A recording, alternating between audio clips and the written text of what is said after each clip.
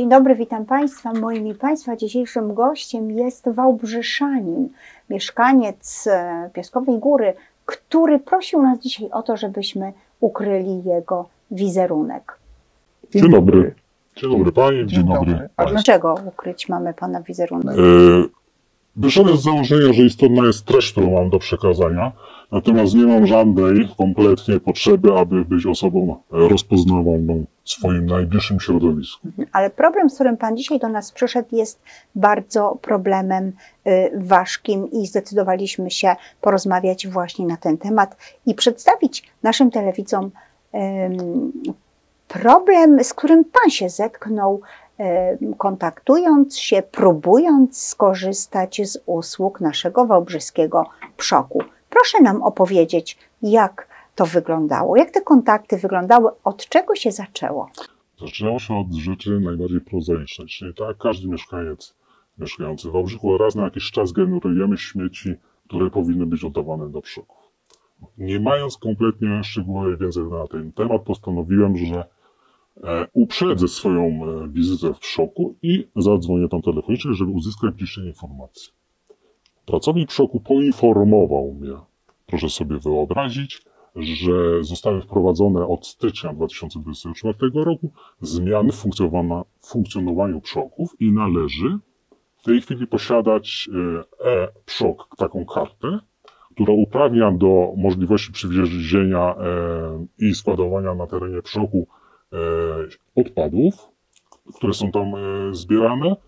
E, I dodatkowo po wymianie ze mną a e, informacji, które mu przekazałem, wskazał, że powinien się udać po wydanie takiej karty do Urzędu Miejskiego, pokój numer 3 Karty? w Wałbrzychu. karty plastikowej dodam, bo to w późniejszej naszej rozmowie Powie tak będzie miało jest, panie znaczenie. Bardzo istotne. Cóż zrobiłem? Ponieważ jestem osobą bardzo zajętą, na, dopiero na drugi dzień pojechałem do Urzędu Miejskiego. Pani urzędnik we wskazanym pokoju, czyli pokój numer 3 Urzędu Miejskiego, Biura e, Środowiska i Klimatu, poinformowała mnie po pierwsze, że pracownik e, przoku powinien mi poinformować, że jeżeli pierwszy raz chce się udać e, do przoku, to mogę to zrobić bez karty, a wyłącznie podpisując stosowne oświadczenie. Pracownik tego nie zrobił. Pracownik wręcz stwierdził, że potrzebuje tą kartę, żeby w ogóle mógł przyjechać. Dodatkowo pani urzędnik odmówiła mnie wydania tej karty. Argumentowała to w ten sposób, że ja powinien jako mieszkaniec, który płaci składki za wywóz nieczystości, udać się z wnioskiem do zarządcy nieruchomości, w której mieszkam, od tego zarządcy uzyskać potwierdzenie, czyli tak zwaną, potocznie mówiąc, pieczątkę, która będzie potwierdzać to, że złożył w moim imieniu deklarację do Urzędu Miejskiego. Z takim wnioskiem wrócić do pani urzędnik i dopiero na podstawie tego wniosku potwierdzonego przez e, e, zarządcę będzie mogła być mi wydana karta.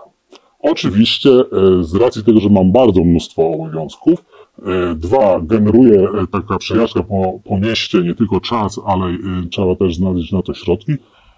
E, Ja zrezygnowałem z tego. Powiedziałem, że nie będę przewoził żadnych wniosków, to są zbędne dla mnie koszty, jak nie mam na to czasu.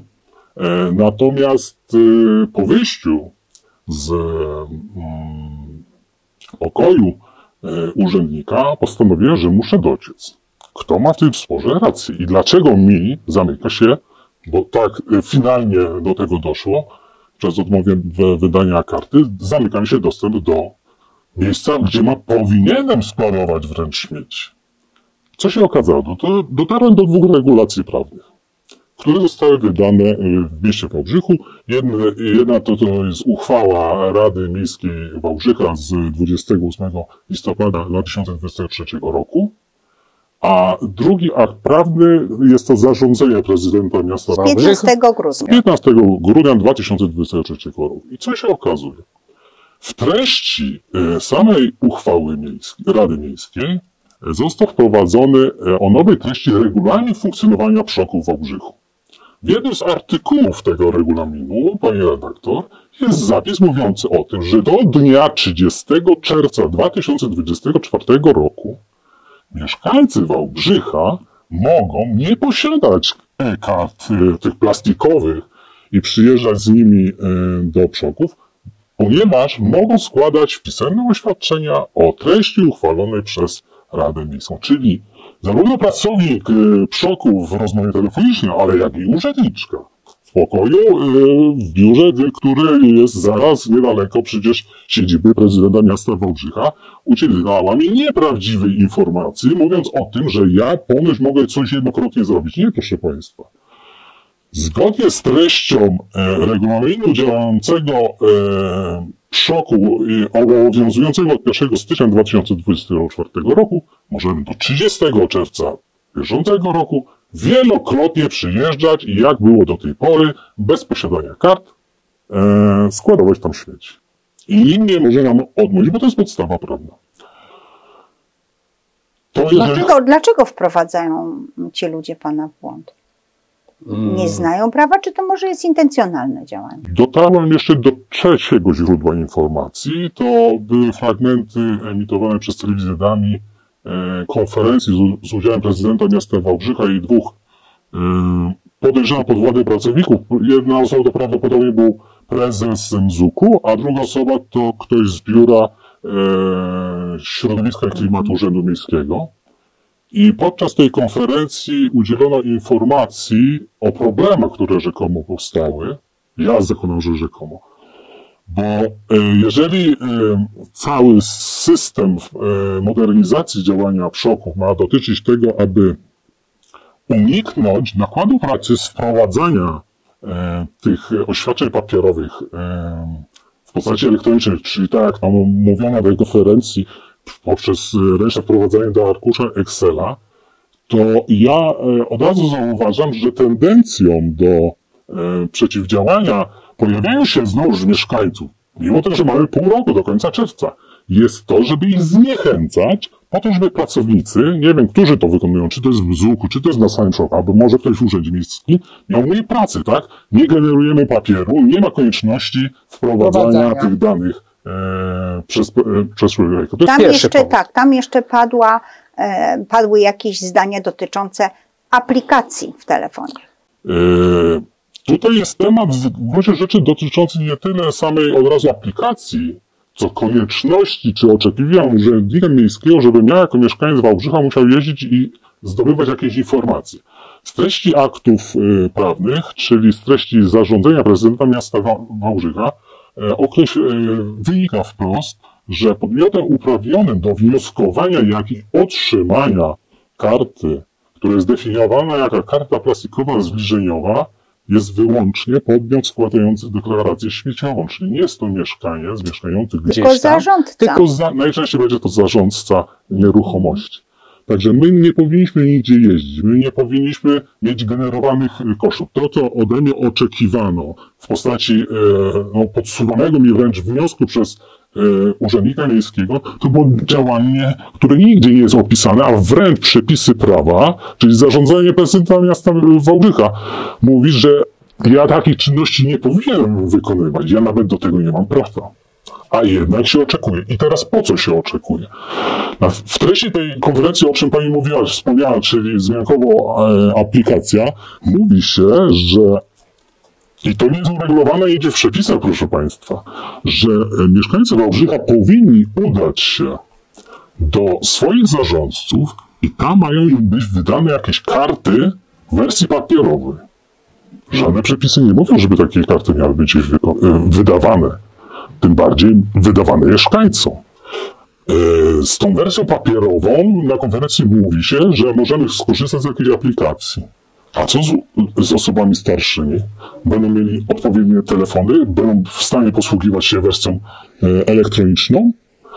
Wersja papierowa ma to do no, siebie, że papier może, jest nietrwała, tak? To ma być, pani redaktor, ta karta ma być przypisana wręcz do adresu zamieszkania, czyli ma być wielokrotnego użytku. Wielokrotnego użytku i na bliżej określony czas. No dobrze, ale jest plastikowa i na pewno kosztuje.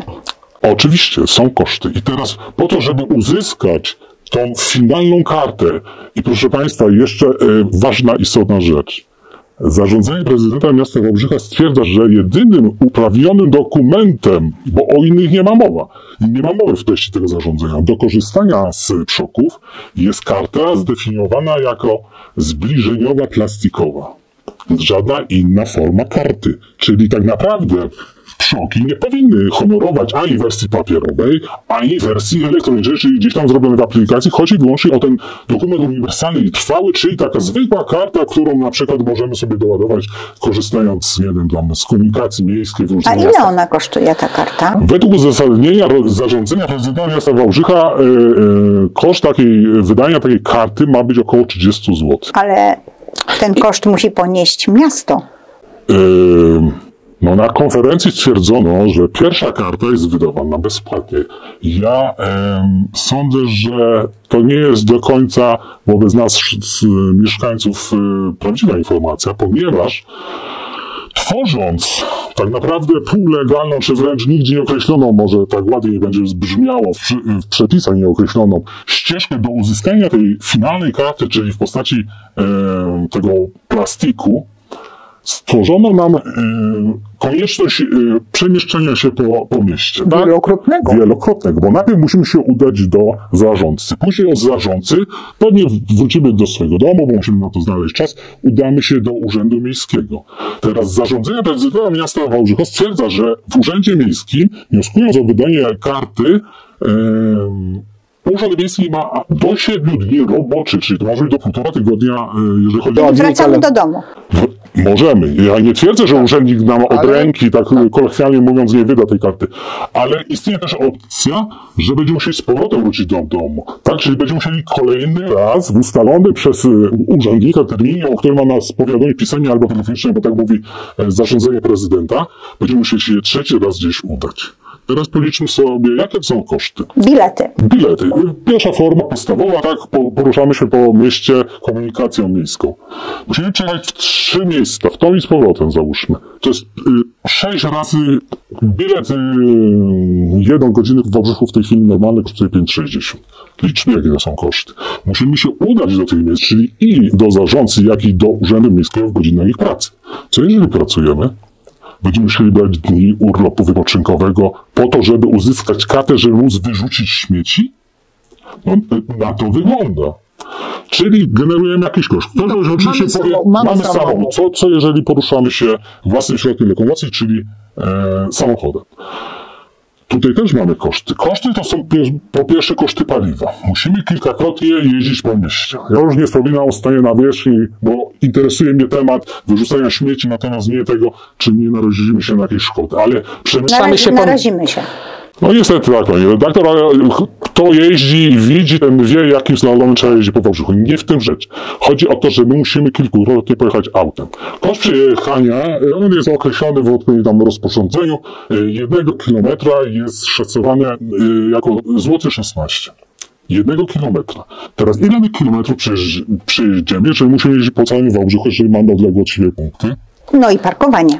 Jeżeli pojedziemy do centrum, bezwzględnie trafimy na parking miejski, czyli będziemy musieli znowu zapłacić jednokrotnie lub dwukrotnie koszty parkingu. Czy to też nie wyjdzie 30 zł? Według mnie może i nawet więcej wyjdzie. Nie wiem tego. Ale załóżmy, że to jest 30 zł.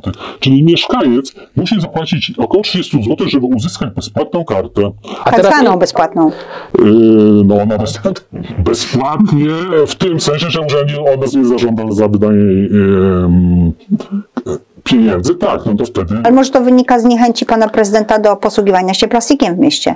Nie wiem, To może, plastik. to mo, może szklane trzeba zrobić, może trzeba zrobić Metalowe. metalowe. No nie, nie, ja nie chcę wchodzić w sarkazm, ale do czego zmierzam? Ile miasto musi wydać tych kart? Teraz załóżmy, oczywiście drogą wyliczenia, bo mówić można dużo, ale jak przejdziemy na liczby, to jest, ten stan się bardzo konkretny, bo liczby bardziej przemawiają do naszej świadomości niż powiedzenie, że coś jest darmowe. I Okazuje się, że jeżeli założymy, że w mieście Wałbrzychu mieszka 100 tysięcy e, osób, Założymy. Załóżmy. Ja nie mówię, że będzie kilka tysięcy więcej mniej. To nie jest istotne. My, w tych szacunkach chodzi o mniej więcej przybliżoną kwotę, a nie dokładną. Jeżeli 100 tysięcy, to teraz uchwała Rady Miejskiej stwierdza, że e, taka karta ma być wydawana nie dla każdego mieszkańca, tylko przypisana w sumie do, do jednego adresu, czyli do lokalu, Do czy to będzie do domostwa, dokładnie. Teraz, ile przeciętnie może e, mieszkać e, osób w Obrzychu w jednym mieszkaniu? Ja dla własnych, ale wydaje mi się w pełni e, zasadnych e, założeń przyjąłem, że to są trzy osoby, bo będą osoby samotne, będą oczywiście pary bezdzietne, albo osoby, e, małżeństwo, które już jest w wieku starszym, nie ma dzieci, to będą dwie osoby, tak? Ale będą oczywiście małżeństwa, gdzie mamy-. Pani redaktor, będą takie dwa plus jedno dziecko, ale będą też oczywiście takie cztery, pięć i sześć osób. Ale gdybyśmy to statystycznie wiedzieli, podzielili, załóżmy bezpiecznie, że to są trzy osoby. Jeżeli mamy 100 tysięcy mieszkańców w Wałbrzychu, dzielimy to przez trzy, uzyskujemy kwotę, prze- przepraszam, nie kwotę, tylko liczbę 33 tysięcy adresów, czyli 33 tysięcy kart do wydania. Przemnóżmy kwotę 33 tysiące Razy? razy 30 zł, które jest bezpiecznym szacunkiem. Pani redaktor, szanowni Wałbrzyszanie, musimy zapłacić około 1 miliona złotych po to, żebyśmy uzyskali darmowe karty. A jak ten system powinien wy wyglądać?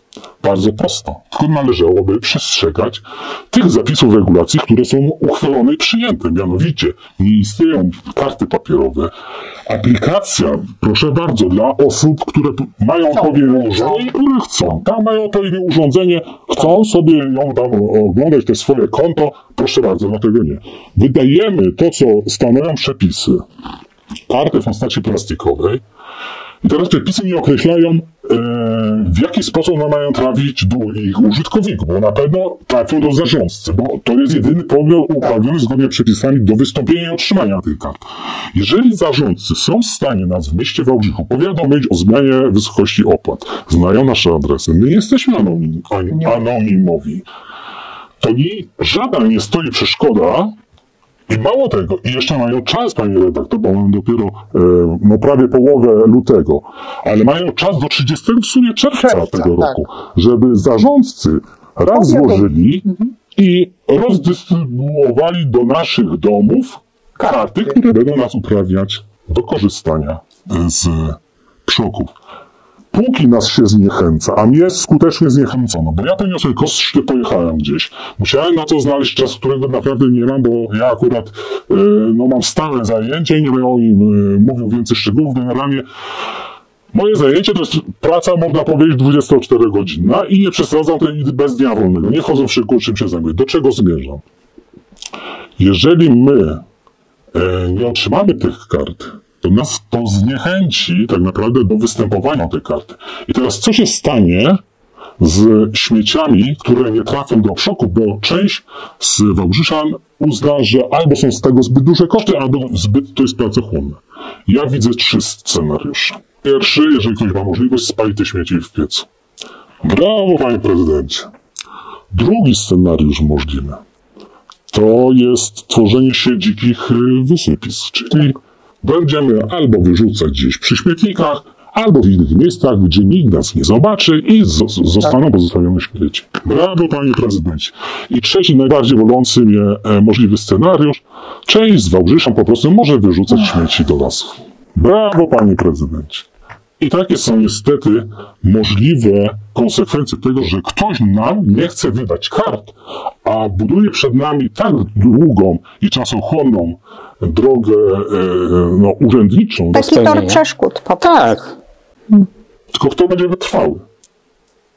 Czy my mamy na to czas? Proszę się zastanowić.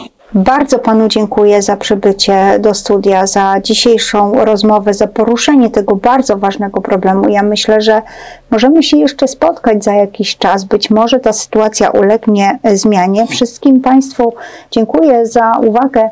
Rozmawiałam z mieszkańcem Wałbrzycha, Piaskowej Góry. E, Dziękuję jeszcze raz. Do widzenia.